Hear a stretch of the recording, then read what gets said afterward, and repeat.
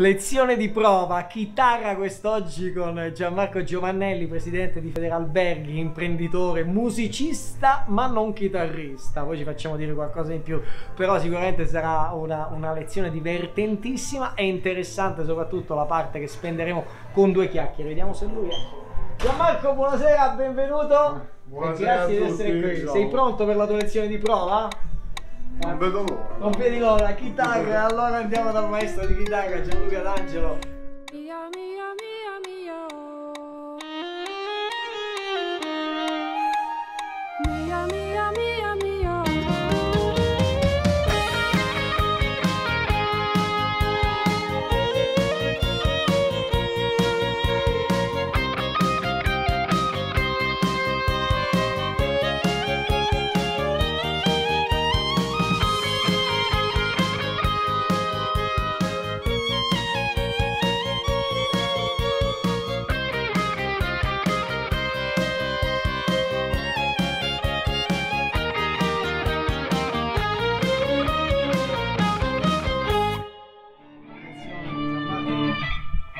Fatto tardi, no? Oh, maestro, No, no, ti eh, ricordi del nostro siamo in ospite? Siamo in anticipo. Ah, ok. Sì, ok, che ci lo abbiamo vedo. ancora 10 minuti. Ok, allora, allora Ok. ci accomodiamo, facciamo due chiacchiere. Aspetta che Perfetto. puoi Io- accomodarti, prego, prego. Io solitamente. Io solitamente.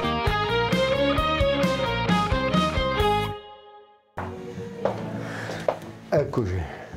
Gianmarco ti puoi accomodare qua sul primo cajon che vedi dove c'è la F e io sono Grazie. sulla E. Grazie. Oh, visto che qua abbiamo anche la distanza giusta, se vuoi puoi togliere anche la mascherina, così possiamo conversare con più facilità.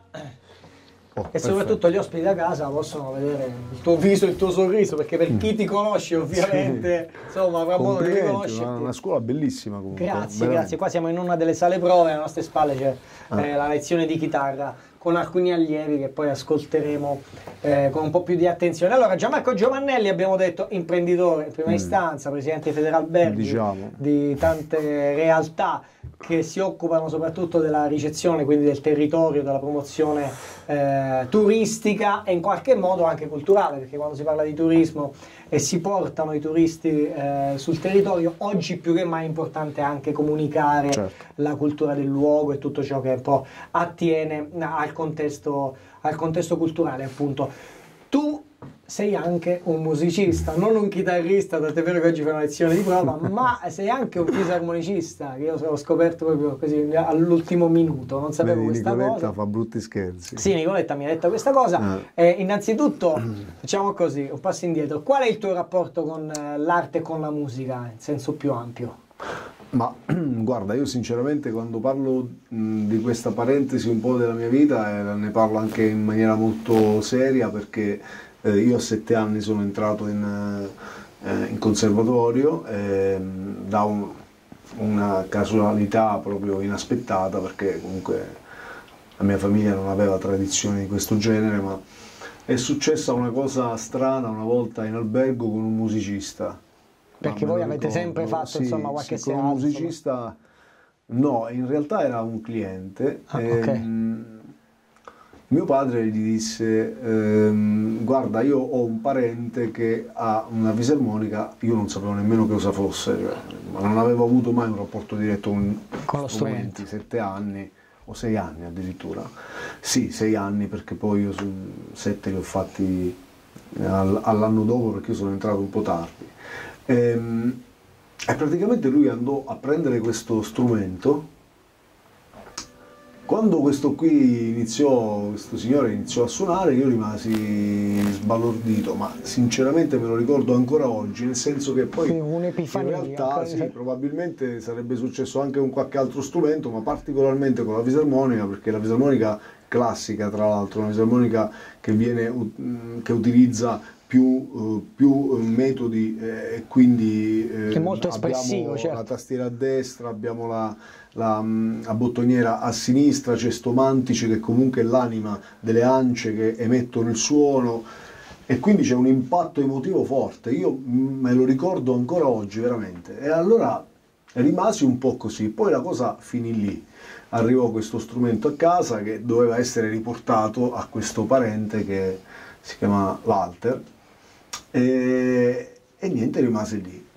Però c'era, ogni tanto andavo a, a vedere.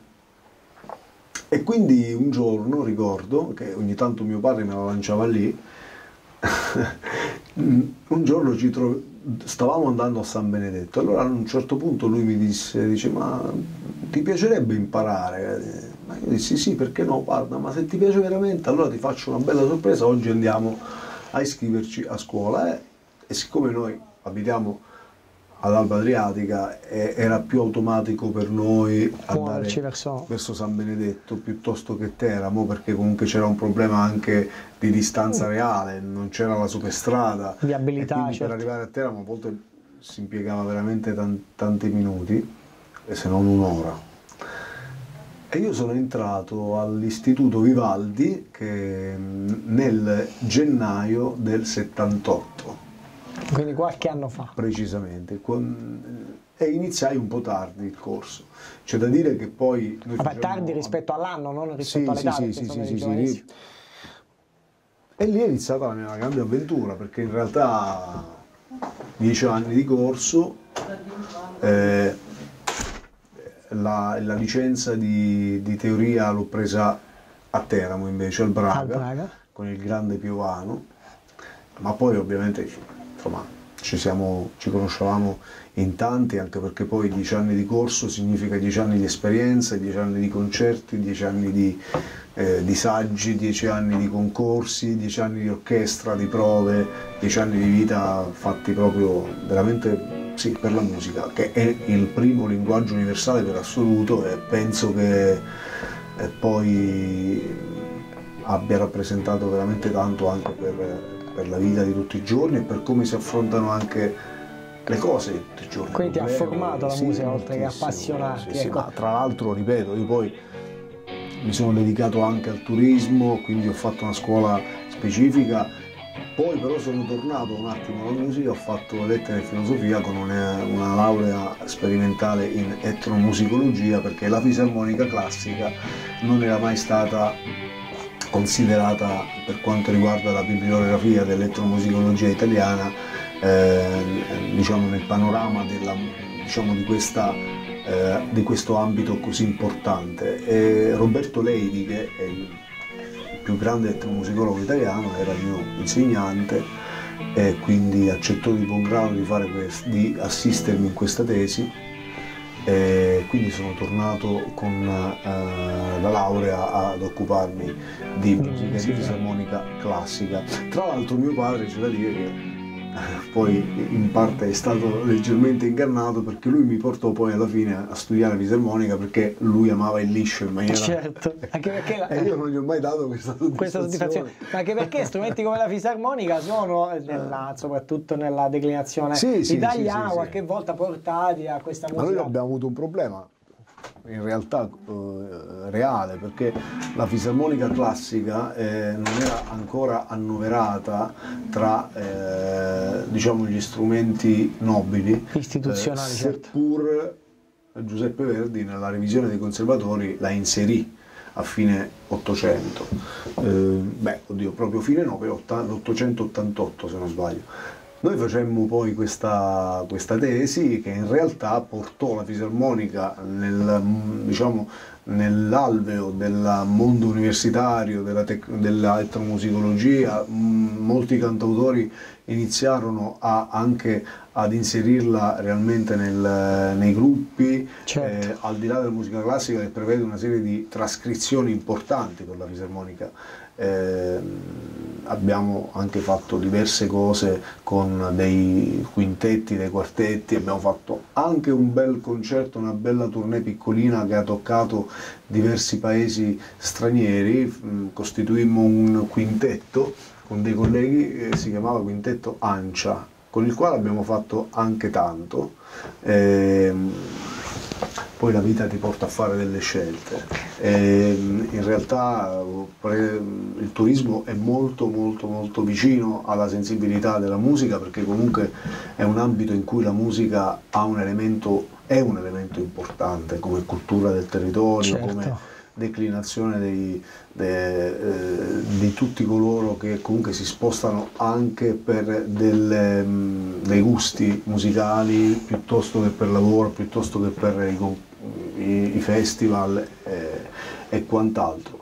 Ehm, sono contento perché comunque non, non mi dispiace quello che faccio e comunque eh, l'ho portato anche nella mia piccola realtà eh, aziendale, ehm, però la musica è veramente una, ehm, un linguaggio molto importante che forma i ragazzi, i bambini. Ricordo all'epoca che ehm, nelle materie di semiologia, se non sbaglio, facevamo dei riferimenti a dei corsi americani, un certo Jeff Wesley, se non sbaglio, che lanciava nel 90, no, nello- nel 90 le prime eh, classi di musicoterapia per i bambini fragili.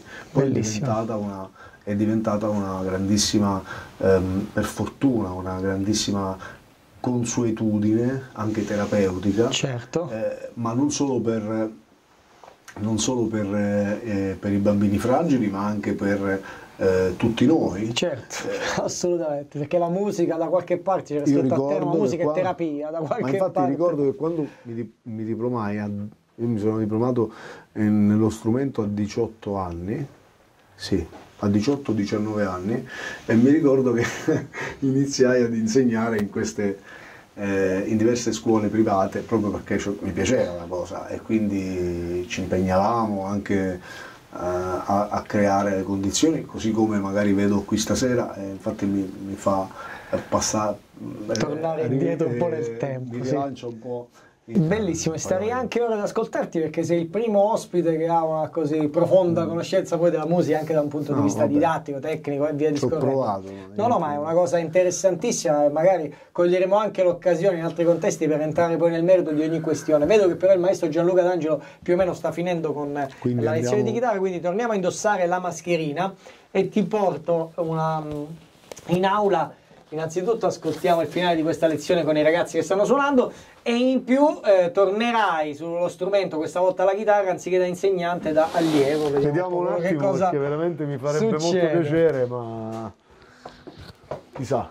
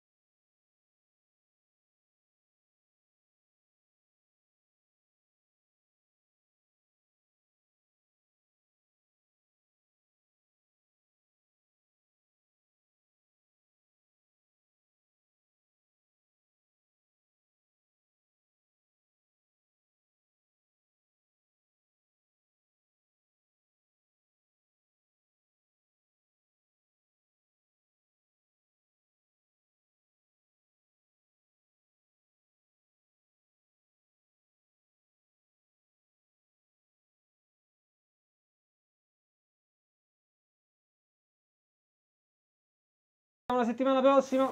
Mi raccomando, studiate le scale, ok? Va bene. Ciao. Perfetto. Allora, siccome Hai devo capito studiare le scale, dalle scale li facciamo uscire. Bravo. Gianmarco, ti puoi accomodare? La E è il tuo posto. Allora, vuoi scappare prendere la chitarra quella lì, dai. Sì, ho capito, ma... Ah, il maestro Gianluca D'Angelo hai avuto altre occasioni per conoscerlo. Sì. Sì. Sì, siamo conosciuti. Allora, Devo rimettere il... Sì, così siamo. Bene, perfetto. Certo che tra la fisarmonica e il pianoforte e la Eh, chitarra... la chitarra elettrica è un'altra elettrica. cosa. lavoro di coordinazione. senti, alzi un pochettino il volume dove c'è scritto volume, quello sopra. Quello sopra. Quello più in alto, perfetto. Sentiamo se si sente. Anche un altro po'. Ok, già ci siamo. Allora, vedo che già sai fare qualche accordo. No, guarda, quello che so fare lo so fare veramente in maniera autodidatta perché ho avuto...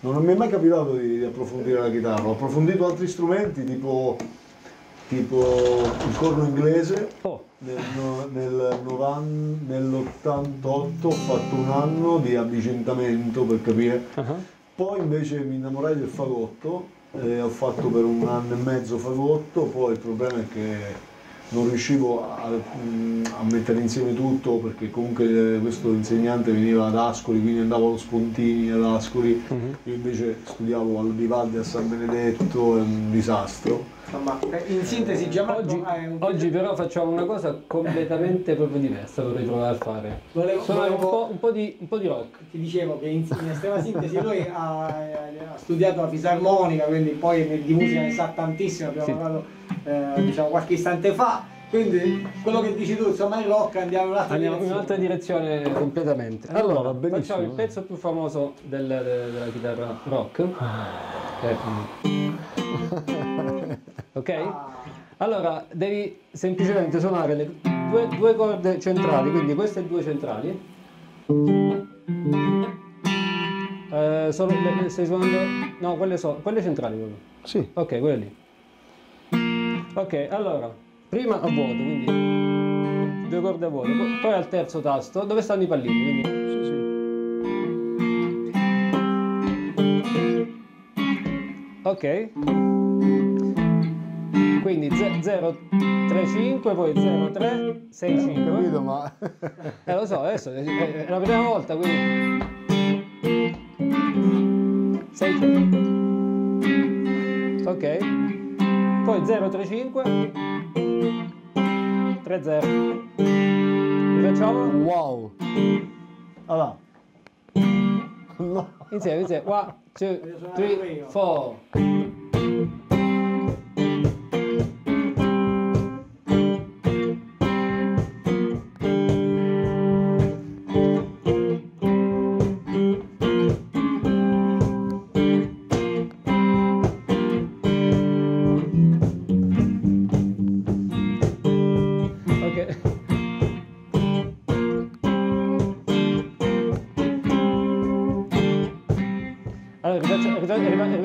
Capo che ce l'hai, è tua?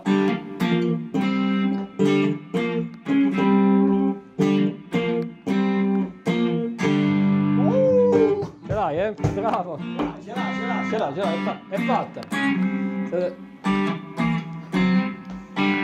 Quella, quella è una disgraziata, ma di quelle... Con la fisarmonica, con la fisarmonica siamo un po' lontani, però in realtà poi c'era l'organo Hammond dei Deep Purple Joe In realtà, in realtà ci sono dei, dei pezzi scritti per fisarmonica e chitarra che sono la fine del mondo. Quindi se ti capita... che di- non conosco, quindi poi mi farai, Eh, mi farai ascoltare. Sì, sì, fisarmonica e chitarra sono fantastici. Fa- Chitarra, Chitarra classica, classica. particolarmente e qualcosa anche con l'elettrica. Ah, Ma meraviglioso. È bellissimo perché qualche lezione di prova diventa poi la lezione insomma, del- di- di- del- eh, al contrario, sì, cosa. imparo, imparo cose nuove. Che nella musica insomma capita spesso, una contaminazione, il dare e poi ricevere indietro qualcosina. Eh, Maestro Gianluca, c'è altro che vogliamo? Siamo fare? andati facciamo secondo me sì. Quindi potrei- stiamo- potrei iscrivermi a corso. Sicuramente sì. Tu non, tu Anzi, puoi ti, ti immaginare. aspetto, ti No, ma aspetto. rischio che poi se torno a scuola non esco più e...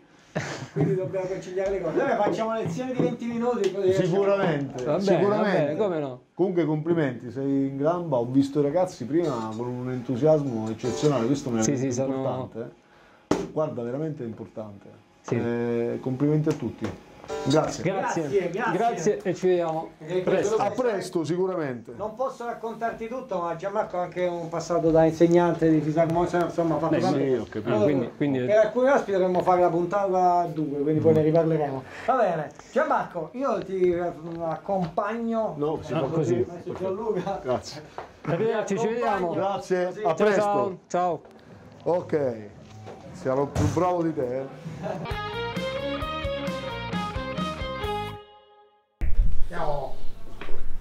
Oh, Gianmarco, intanto congratulazioni per eh, la tua lezione di chitarra perché abbiamo fatto un riff fantastico e soprattutto per le due chiacchiere, ne sai tantissimo di musica, una cosa fantastica Vabbè. e eh, devi per forza di cose eh, prendere un appuntamento con Giorgio per l'iscrizione per tornare almeno per Subito. finire la nostra chiacchierata. No, ma poi Quindi- dipende molto anche dal- da- dagli interlocutori. L'insegnante di chitarra è veramente. Eh, Gianluca D'Angelo è un grande, tanti ragazzi lo amano e insomma noi ti ringraziamo per essere stato con noi. Buon Grazie a voi, eh. proseguimento. grazie a voi, la prossima grazie a volta- questa parentesi La meravigliosa. prossima volta che torni per suonare porta anche la fisarmonica facciamo una jam session. Va Eh, bene? va. Ci sto. Ciao, Grazie. Gianmarco.